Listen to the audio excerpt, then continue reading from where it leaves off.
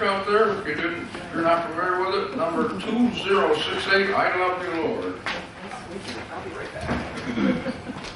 I want to hear you. Thanks. I knew you'd love that. Maybe you don't. And, uh, uh, I know it. Okay.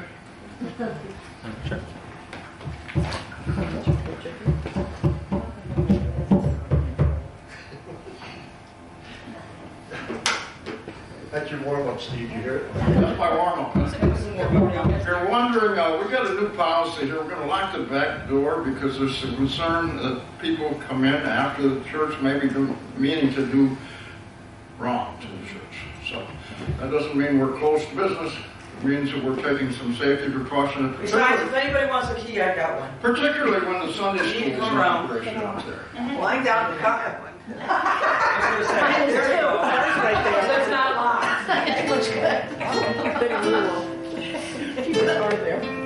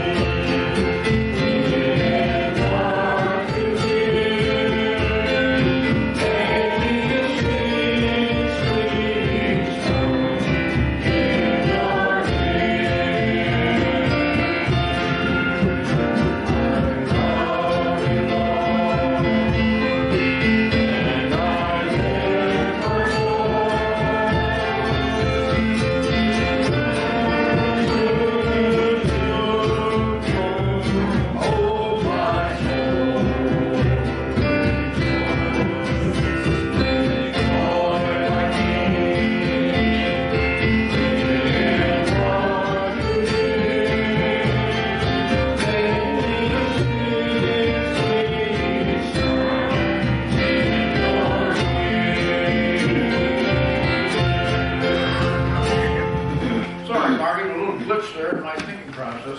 Oh, it doesn't make a difference. I just go with wherever you go. Let's turn to the prayer at the top of the bulletin, where we pray every time inviting the Holy Spirit into this presence, enter into our presence. And he's here because he's living, he or she, however you look at the Holy Spirit, she's, it's here. It's Yeah. living in our hearts, living in, in each other. So welcome, Holy Spirit. Let's pray together. Come, Holy Spirit. Fill the hearts of your faithful. Kindle in us the fire of your love. Come, Spirit of truth. Open our eyes. Open our hearts to your truth. Amen. Now let's turn to number 402 in the United Methodist hymnal. Oh, Lord, I want to be a Christian. That's all what, what we all want, right? Yeah. In our hearts. Not just in our minds, but in our hearts as well.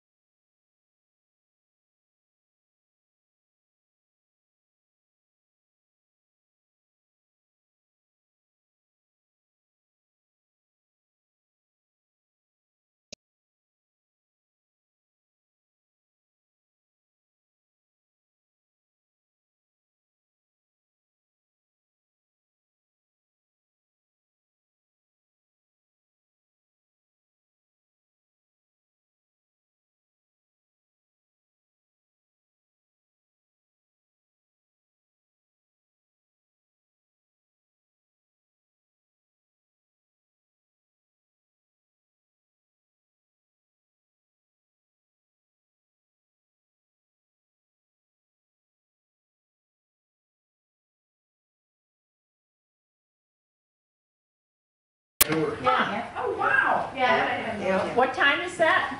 That is 6:30 to 8:30. I know that, it doesn't say it on here, I know there's no charge for it, but there, it- donations are welcome. Yep. And this is part of the Virginia Hosley Library Concert Series. Yep. Where's the pavilion? Right next door, the other side of the Pavilion hall. or inside? It says at the pavilion, Wells Community. I, I must say that, I mean, and I don't know, yeah, they would fit in here. If it rains, they usually move into here. Okay. Well, not on Friday night. nope, not on Friday night, never We had mind. that, that, that challenge before. because Yeah, we that's had- right. did. We have the AA meeting out here Friday night, so we Right. won't displace them, but they, they can probably use the community hall. Yeah, and which would probably be better. Yeah, Okay. Any other announcements? I have it. As you most of you know, we uh, voted yesterday on the disaffiliation process. This church did vote to disaffiliate by seventy-two percent. We had to have sixty-seven percent to disaffiliate, so the majority voted to disaffiliate. What does that mean? What does it mean to us? Not much different. We voted uh, strictly on the, uh, the thought of uh, the United Methodist Church is starting to vary from the Word of God as far as the Book of Discipline. They're, uh, they chose to uh, change some articles in the Book of Disaffiliation, or in the Book of, uh, uh, our Book of uh, Discipline. disciplines, excuse me, to uh, not include uh, words that go along with God's word in the Bible. So, uh, what does it what does it mean for us personally? Nothing, nothing more. We still welcome everybody. Everybody's always welcome in that church, no matter what gender, sex, uh, uh, whatever, whatever uh, their sexual preference is. That doesn't mean anything to us because we're all sinners. We don't judge here in this church. Everybody's always welcome, no matter what. It's varied from the Word of God that we voted on, uh, basically, and we don't go along with that. So, uh, what we will have a meeting next Sunday after church to decide where we're going and uh, what we do from here. So, what does that mean? Well, we, one possibility is the global church, still a Methodist affiliation. We will no longer be affiliated with the United Methodist Church. The Global Book of Discipline is pretty much the same as we always had. You know, there's a difference in what they can do with local pastors and, and uh, pastors. Uh, they no longer pull them automatically. You, you are no longer uh, a uh, pastor that moves from place to place at their whim. So you have a pastor here, you can get rid of me, or you can keep me. That's, that's your decision, but not, the- not the upper church. So that's one change. Another change is big, a big, a big difference in the uh, apportionments. Our apportionment is how much, Debbie? Um, What percentage? Almost, almost sixteen percent. Almost sixteen percent. The Global Methodists, if we choose to go the direction, is two percent. And they want your funds to go to, in your own community, more so in the world, more, more so than supporting the upper management in the church and, and other situations that we may not approve of. So, so that is, uh, that is a big difference. And we're gonna own our church. We will own our church, And we'll still be Methodist. Excuse me, then we'll still be Methodist. we still, we're still, well, if we choose to go to Methodist, we'll still be Methodist. We will have to have a name change, we will lose the, the United Methodist logo, logo, there, you see it, the flame and the cross. We can't, we'll have to, And we can keep our hymnals. we can keep our hymnals because they do not belong, belong to the United Methodist Church. They belong to us, so. I would- I would, Basically, we're staying the same. I would also add you- on your comment around changing the name, Steve, just so, what we heard um, when we met with the Global Methodist was that the only thing that they're, they're asking, they actually suggested that we keep the Methodist legacy in, in, in Wells and said, you know, you can call it the Wells Methodist Church. Um, um, The United is what separates the global Right. from what it is, So we could do that, we will But, but I think that's what the meeting's about. Part of it is to, to determine what's in the best interest of everybody. So Absolutely, name change, where we go, things like that, we will talk about it in the meeting, so. Don't fear, we're not changing here, we don't change our beliefs, basically. We will follow the word of God, because that's where the bottom line falls. What are the two main commandments? Love the Lord, love your neighbor. What, what's the first commandment? Love the Lord. What does God say about how you, he will know that you love him? By following his commands. That's number one. Love your neighbors are commanded as well, but first comes love the Lord. So that's what we'll do here. We'll follow God's word. Any questions? So what we might do is be a global, We may go with the global, we will talk about that. Please come to the meeting if you can next but the week. global sounds like there's um, less, um, There's a lot less overhead. They're, they're not keep, they're, they're not going to have a large escalon over everything, which would require lots of money from all the churches. They're going to keep the cost down. right, Their goal is to keep as much money into each church so that we can, as a church, go out, spread the word of God, and, and do what we are meant to do. And one of the leaders of the Global Methodist Church is actually some, maybe familiar to some of you, was Bishop Webb, who was our bishop for this Upper New York Conference. He has moved over to the Global Methodist Church uh, after many years in the United Methodist Church, and he's actually leading the global, he's one of the founders of the Global Methodist Church. So, um, There, there are a few other differences, and one is in regards to bishops. Um, At this time in the United Methodist, once you are appointed or elected or however to a bishop, you are a bishop forever, for life. They're not going to do that. So that, I hate to say it, that keeps people on their toes. Does it not? When you think that, you know, hey, in two years, I might not still be here. And they, they are going to have term limits. So Yes. that, that's another change. Um, It keeps new ideas coming in, keeps everybody on their toes and working towards what God has set us here to do. Any other questions? Yes? It's a very, very sensitive subject, but, um, uh, pastors and the, um, the alternate sex, if you will, you know, like gay or whatever, is that an issue? I mean, you're gonna be with our, you're gonna be our pastor, but, It is an issue with the, with the global church.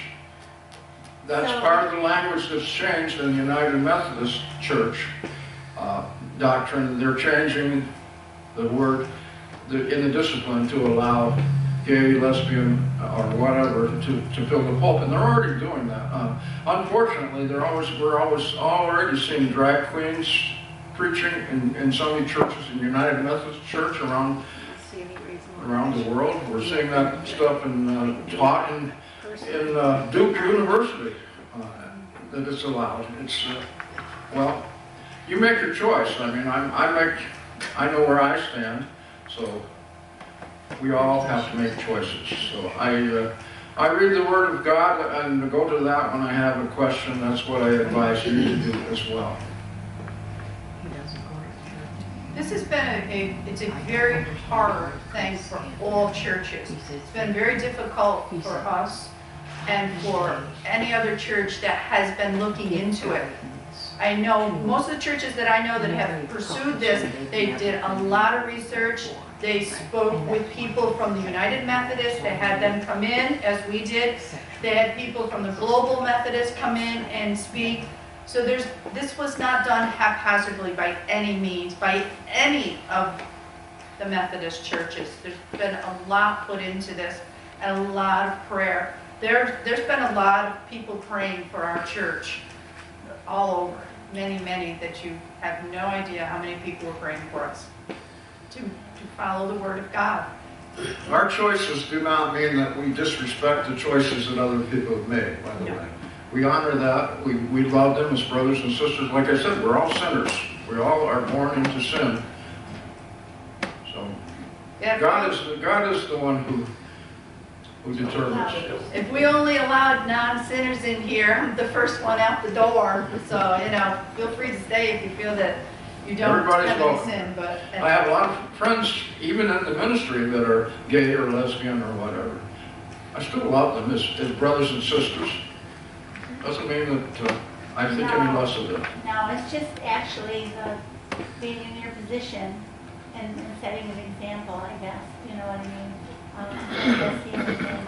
The way it's stated at this point is, it, it does not say a pastor cannot be gay or lesbian. They cannot be openly, That's, that's the issue openly right homosexual. Right, And that's that, the issue. that's the issue. And they, that would, that's part of what they want to be changing. So it's not, you know, they're not jumping into people's sex life No, that, no, that no, way. I But don't think that's right It's the church, you know, Right. and how it's presented here. Right. Okay, if you have any further questions, feel free to contact me personally or ask. Well, Debbie says she's done getting in the poster child. No. I will be glad to answer any questions you may have. I think you did a great job, Debbie. Oh, thank you. It's, uh, All right, on with our service, if we could, please. All right, so our call to worship today is Psalm 45, 10 through 17. You'll find that on page 884 in your Pew Bible, and we'll read that together.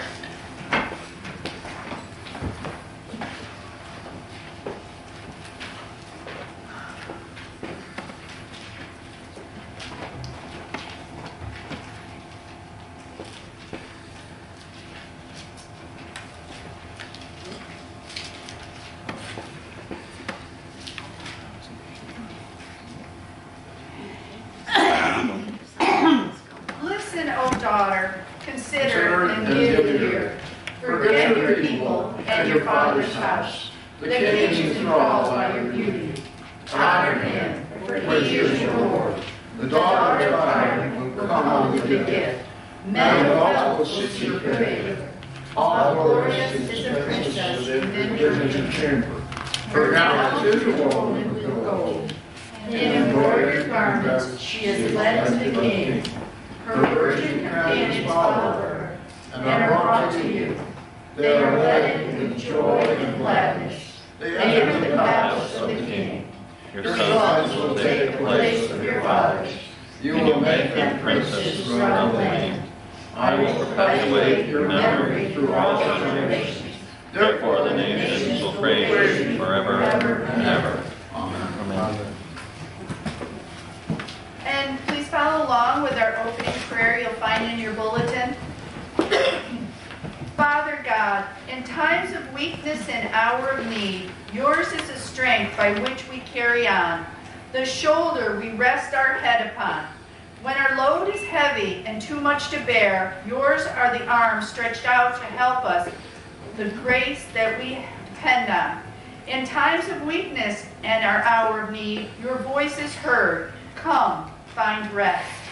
This is grace divine, the path we tread to wholeness of body and spirit, the path that leads to you, and for which we offer our offering of praise. Amen. Amen. Our first, our next hymn is Just a Closer Walk, and you'll find that on page 2158 in the Faith We Sing.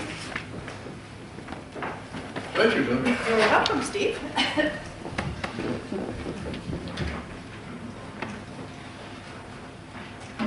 Amen.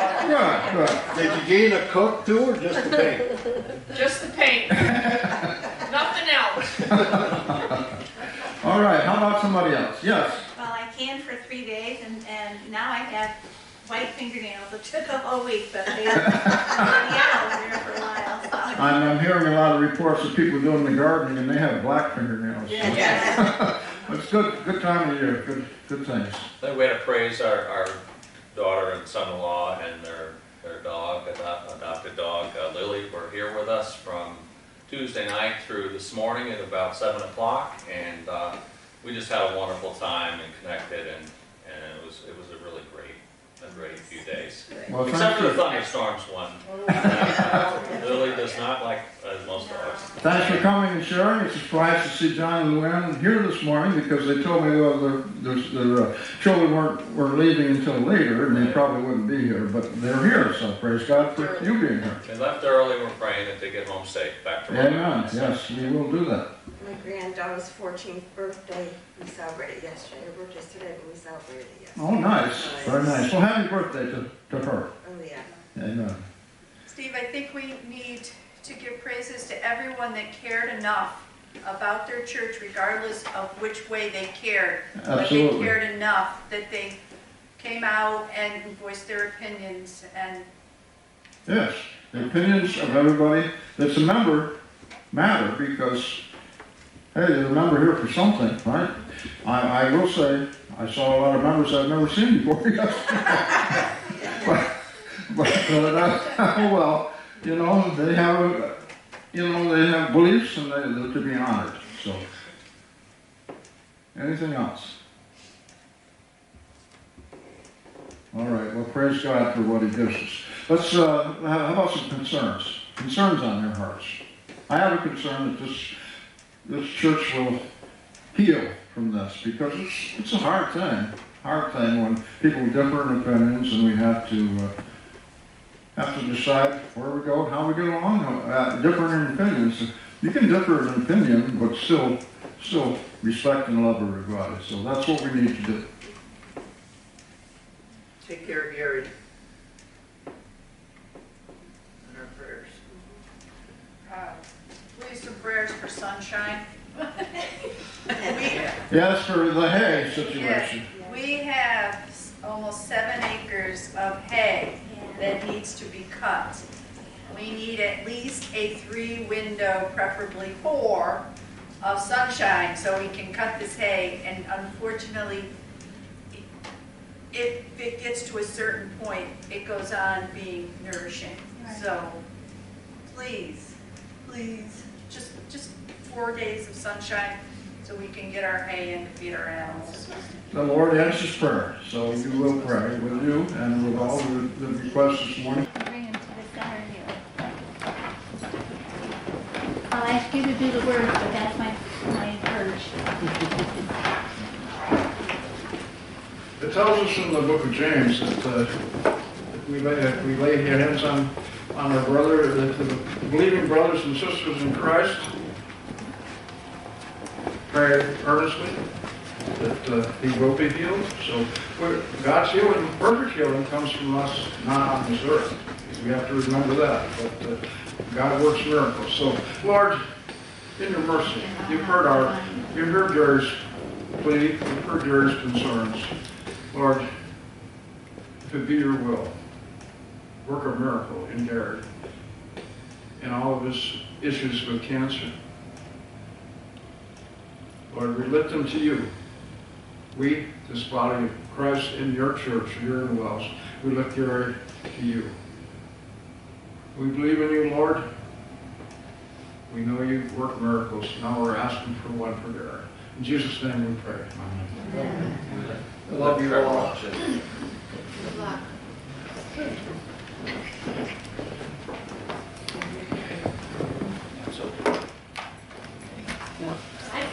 I'm cancer survivor. Yes, praise God. Well, so am I. Yes, I know every six months, and it scares me terribly, but I know, and I'm a cancer survivor. Amen. God works miracles. Yes, they do. He's a positive. Yes, well, and uh, this is what our church is all about, lifting up each other. Praise God. All right, let's go to uh, other, uh, any other concerns that you want to lift this morning before we go in general to the Lord for prayer? Prayers for a cure for cancer. Oh, yeah. Operation We keep, uh, right. we keep praying for that. It's a dreadful disease. They cleaned it all out. But God has the ultimate cure, like I said. God, God can work miracles. So never give up on that, never forget. And they had moved to Queensbury. Others? And let's go to the Lord Not that we haven't been. Lord, you've heard our praises. Lord, thank you for all the good things you give us.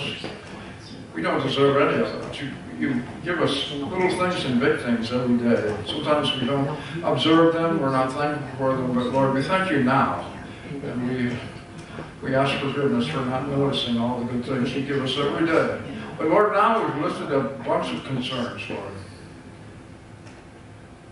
Concerns of our brothers and sisters in Christ right here in this church and throughout the neighborhood. And, and we pray for all those that are suffering wherever they may be. Lord, in your mercy, we ask you to hear our prayers. Work your miracles. Lord, we pray for our world and our leaders in our world, in our country, in our states, in our towns and villages, in our own homes, as we tend to lead. We try to lead it following your word, Lord, so we, we ask that you be with us as we endeavor to do that. In our churches, Lord, we've just made a big, big change in our church to follow your word. Lord, we ask you to bless us as we move forward. Forgive us if we've hurt people's feelings. Be with us as we move forward and, and take your word out in ways that we have never done before. To others, now perhaps to, to make a bigger impact, to be, to be a bigger light to this community right here in Wells and to our own families. Lord, we ask you to, to help us do that. Lord, we pray for our teachers and schools that are out for the summer, keep them safe. We pray for our college kids that are college bound for the first time, or those who graduated and going out into careers. Lord, we ask you to be with them. They made good choices and they are successful in their outreach, but never to forget you, Lord. Lord, we pray for our close family members, our relatives and our friends, our neighbors, those that are suffering for whatever, be it a disease, an injury, just loneliness, shut-ins, whatever it may be, Lord. We ask you to be with them all and let them know they're not alone. We pray for the silent concerns in this sanctuary that haven't been lifted. We know that you're with us all because you know it all, even though we don't share it with our friends and neighbors and brothers and sisters in Christ here. And finally, we pray for, for ourselves because we're all sinners. We know that we're sinners. We, we fall short all the time. But Lord, thank you for Jesus. Thank you for his, the blood that he shed on that cross to cover our sins. And thank you for sending him. In his name that, that we have hope. Now we come to you with that prayer that Jesus taught us to pray. Our Father, who art in heaven, hallowed be thy name. Thy kingdom come, thy will be done, on earth as it is in heaven. Give us this day our daily bread, and forgive us our trespasses, as we forgive those who trespass against us. And lead us not into temptation, but deliver us from evil. For thine is the kingdom, and the power, and the glory forever. Amen. And now's our chance to give back. Yes, Nancy? I just, Carol. I'm I'm Carol. I'm Carol. I, I know that, I'm sorry, Carol. Yes, I just want to include in the prayer, prayers for the, all the emergency personnel that responded to that fire in Voorheesville, you know, that area. Four pe- lives were lost. And I'm sure they're all struggling. You know, the sheriffs and EMTs, and there was a number of fire companies that responded. But no public water and a child and, you know, four lives were lost yesterday. thank you for lifting that up. Yeah. And thank you, Carol. Yep, you're welcome. Not that I don't know. No, I know. Uh, could we keep uh, Dave Brennan and Clay Early in our prayers? I think they're both having an operation this coming week. Dave Brennan and Clay Early. Yeah, Dave's is on his back, and I think Clay's on his knee. No, the other way around. No, Dave, are you sure? Yeah, Dave is on his knee and Clay is on his back. When is that? Yeah, huh? When is that? This week. God knows, so we will pray for you. I know Dave's is the 11th. I don't know about Clay. Thank you. It's not too late to pray. Okay.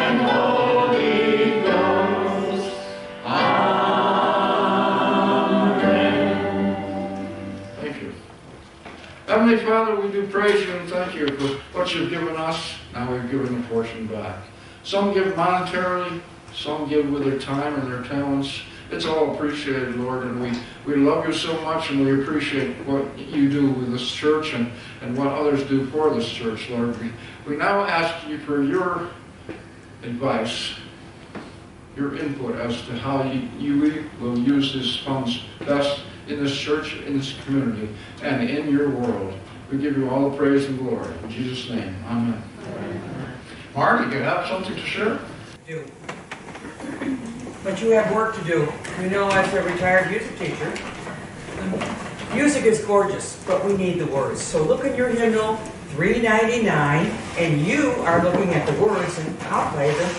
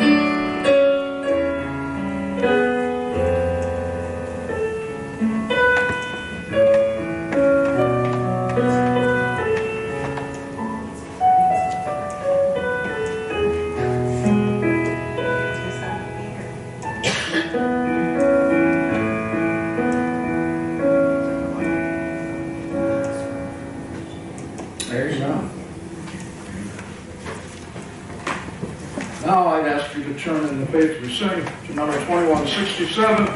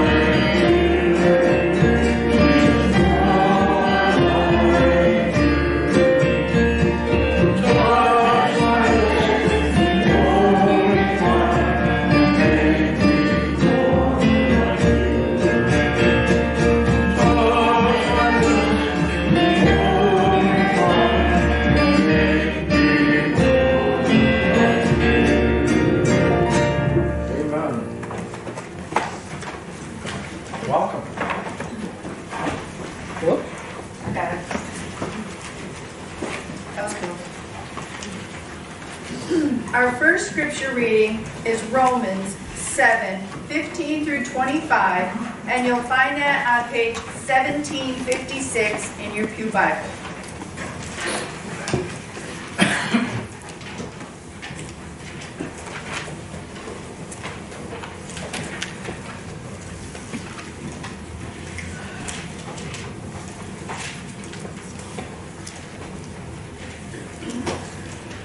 I do not understand what I do. For what I want to do, I do not do, what I hate, I do. And if I do what I do not want to do, I agree that the law is good. As it is, it is no longer I myself who do it, but it is sin living in me. I know that nothing good lives in me, that is, in my sinful nature. For I have the desire to do what is good, but I cannot carry it out.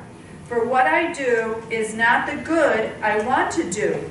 No, the evil I do not want to do, this I keep on doing. Now, if I do what I do not want to do, it is no longer I who do it, but it is sin living in me that does it. So I find this law at work. When I want to do good, evil is right there with me. For in my inner being, I delight in God's law, but I see another law at work in the members of my body, waging war against the law of my mind and making me a prisoner of the law of sin at work within my members. What a wretched man I am! Who will rescue me from this body of death? Thanks be to God through Jesus Christ our Lord. Our second reading is Matthew 11, 16 through 19, and then 25 through 30. You'll find this on pages 15, 13, and 15, 14 in your Pew Bible.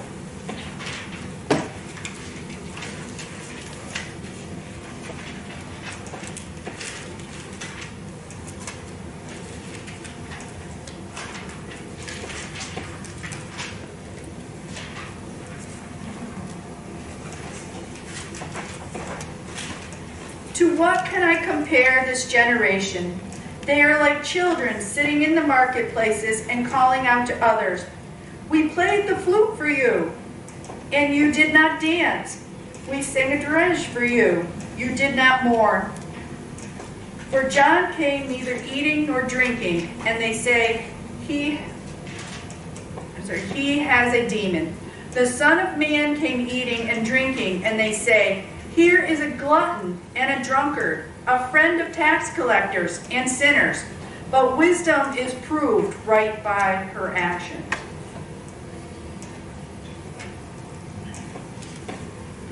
At the rest for the weary, at the time that Jesus said, I praise you, Father, Lord of heaven and earth, because you have hidden these things from the wise and learned, and revealed them to the little children.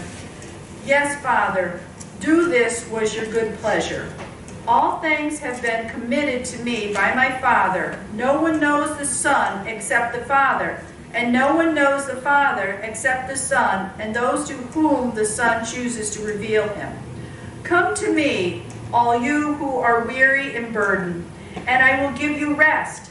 Take my yoke upon you and learn from me, for I am gentle and humble in heart, and you will find rest for your souls. For my yoke is easy and my burden is light. The word of God for the people of God. Thanks be to God. Okay, this is going to be a surprise to Steve. I forgot about the children's Oh, well. message. We have no children today, so we can forget it this, Yes, this so, uh, children, if you're out there watching, I am so sorry. We're all children of God, so you'll have to listen to my message to hear the children's message. Yes. So, uh, dear Heavenly Father, we are here with you. We want to continue to follow you. We praise you every day for all that you have given us and how you lead us. We thank you for sending Steve to us to give us the messages that you want us to hear from you to him, to us. Amen. Amen, thank you. Well, good morning again, all. So good to see you. Welcome to worship in our Little White Church here in Wells, where everybody is always welcome. Never forget that. We may not always agree with each other and like each other for what we do. We don't always understand each other. But we love you as brothers and sisters in Christ. God works his miraculous ways in each of us and has our own personal experiences. As, as we're through our own ex- personal experiences, we know there's a God out there, don't we? We know that it just had to be God sometimes that make things happen in our lives. I think it, I, I know I have experienced that, and I think probably most of you have as well. We see an amazing example of that in the scriptures this morning from Genesis that Debbie did not read, and I will share it because this is one of the recommended scriptures.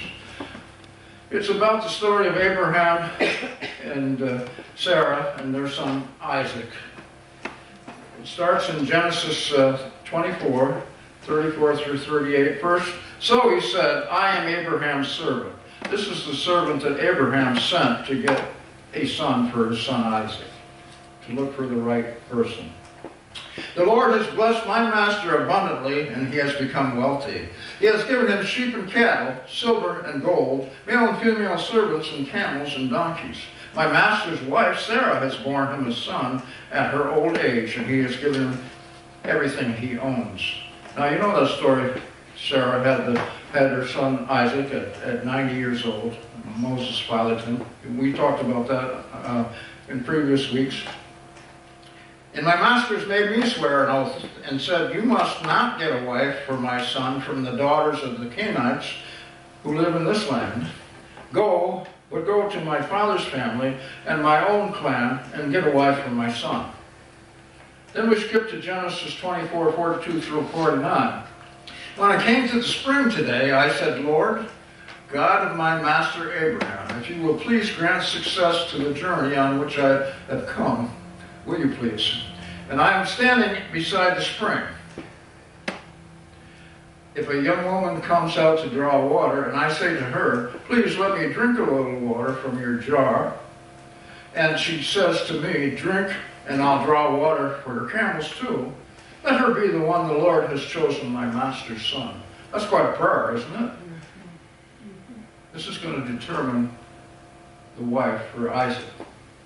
Before I finished praying in my heart, Rebecca came up. With her jaw, jar on her shoulder, she went down to the spring and drew water, and I said, Please give me a drink.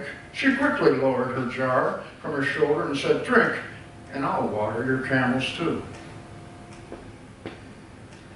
Is that not from God? So I drank, and she watered the camels too. And I asked her, Whose daughter are you? She said, The daughter of Bethuel, son of Nahor, who Milcah bore to him. Then I put a ring in her nose and bracelets on her arms, and I bowed down and worshiped the Lord. And I praised the Lord, the God of my master Abraham, who had led me on the right road to give the granddaughter of my master's brother for his son. Now, if you will show kindness and faithfulness to my master, tell me.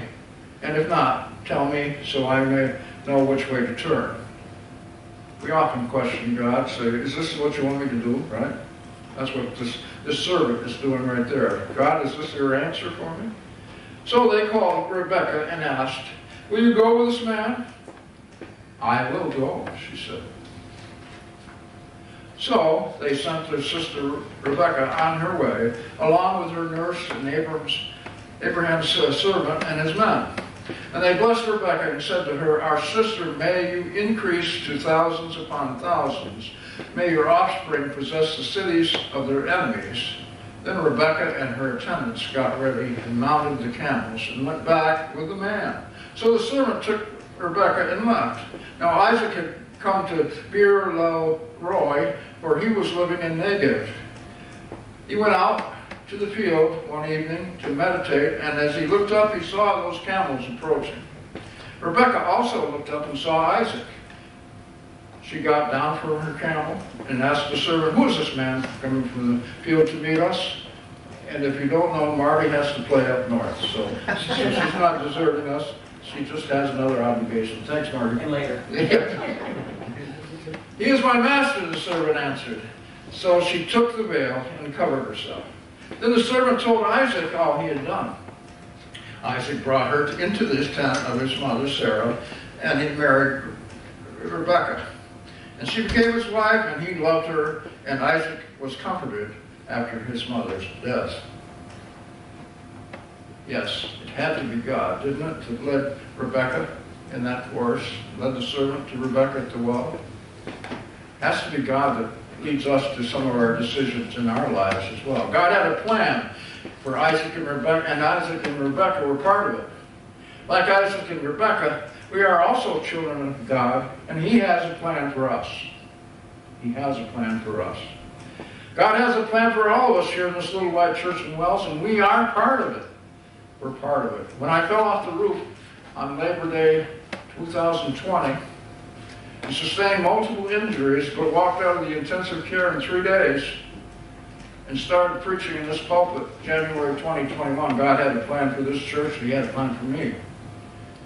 God has a plan. Do you follow it? I believe God still has a plan, big plans, and we are a part of it if we listen to what He is telling us and move forward according to His will. That's the challenge. What is His will for us? What is His will for us? We decided His will was to move forward as we voted yesterday. We believe that's His will for us, and if it is, we will be able to be a positive move, and we will move forward, and we will increase, and we, we will uh, reach out for God and, and lead others to His love and His salvation. What is His will? We are constantly bombarded with the ways of the world, and since we are all born with that original sin since Adam, it's a daily struggle. We see that was the case for Paul, too, in his letter that, that Debbie read from the, the Romans. Paul tried to describe how he felt as he struggled with his desire to follow Christ, but still struggled with sin. We all know that, that that struggle, don't we? When we do something or say something we shouldn't, our conscience lets us know, doesn't it? You shouldn't have said that. You shouldn't have done that. I wish I'd done something different. We all know that feeling. We all fail at times. We feel, feel the Holy Spirit inside us telling us we've done wrong. We're all sinners. Yes, we are. And we can't change that fact, but we can try to do better. That's why we gather together here once a week to hear God's Word. As sharp as it may be sometimes, we gather to hear His Word. Some of us, many of us, do morning devotions, Many of us read Scripture regularly. We want to know God's Word. We want to follow it. That's what we're led to do. It's that hole in our heart that God tends to fill with nothing else but us, but Him, not the world. God wants Him inside of us, not the world. That's why we gather. We struggle to be more like Jesus. We sang songs this morning asking God to help us do that. Remember, Lord, I want to be a Christian. Just a closer walk more like you. They were all asking God to be with us, to teach us to walk in His ways and be closer. That's what we all want, isn't it? That's what God wants too. That's why it feels so good when we sing or listen to the words of those songs. We're crying out to God, Lord, help us do better. Our scripture from Matthew also touches on our lacking of knowledge and God's desire for us to be more like Him. We heard from Matthew 11, 16 through 19. To what can I compare this generation? They're like children sitting in the marketplace and calling out to others. We played the flute for you, and you did not dance. We played the dirge, and you did not mourn. For John came neither eating nor drinking, and they say he was a demon. The Son of Man came eating and drinking, and they say, Here is a glutton and a drunkard, a friend of tax collectors and sinners but wisdom is proved right by her deeds. God always has a plan. Too often, people don't listen to them. Too often, we don't listen to them. John the Baptist was beheaded. Jesus was nailed to the cross. Although this was all part of God's plan of salvation, it clearly shows how worldly influence does not go along with God's plan. They would like, the world would like to change God's plan, but God's plan won't change. God has a plan that will be followed through with, and, and His will will be done whether we want to change it or not. Even after all the cruelty and inhumane treatment and scorn, God still calls out to us. Jesus says this in today's Matthew scripture 26 to 30. Yes, Father, this, for this is what you please, uh, were pleased to do. All things have been committed to me by my Father. No one knows the Son except the Father, and no one knows the Father except the Son, and those to whom the Son chooses to reveal him. That's us. We know Jesus and we know God through him because we've been called by his name. We've all been called, haven't we? That's why we're here. That's why we're here.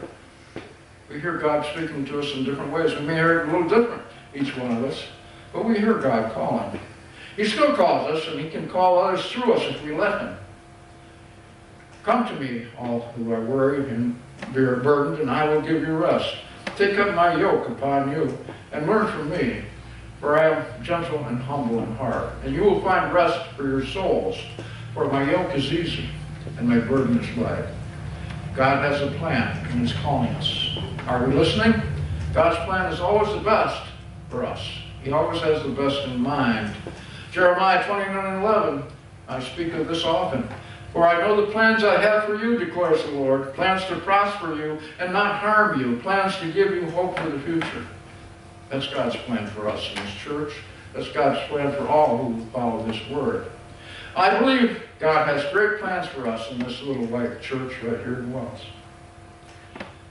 And for all those people here in Wells, because we're going to reach out. We're going to reach out. I believe we can shine the light for God and help lead others to his love and salvation. All that he offers to all who are willing to listen. Will we listen? We will, will we be a beacon for God and shine his light in a dark world? I believe God has a plan. How about you? I pray that we will work together to make his plan come together through all of us. Through all of us. So back to the title of my message today. Who am I? Or who are we? We are all God's precious children. That's who we are. What am I? What are we? We're all sinners. We're all alike in that respect, but we all, but we have accepted Christ in our hearts, and we are saved by grace. If you haven't, if you haven't asked Jesus to come in your heart, please talk to me. It's important. It's the most important decision you can make in this, this lifetime. But who cares? God cares. God cares deeply. We are here on this earth for a purpose. That mission may not be as dramatic as that of our older brother Jesus, but it is nonetheless to direct others to the light and love of Christ. We are an important part of God's plan for heaven on this earth. You see, we have work to do. We have work to do. Let's work together to make it happen. Amen? Amen. Let's turn to uh, our last uh, Tim. What a friend we have in Jesus.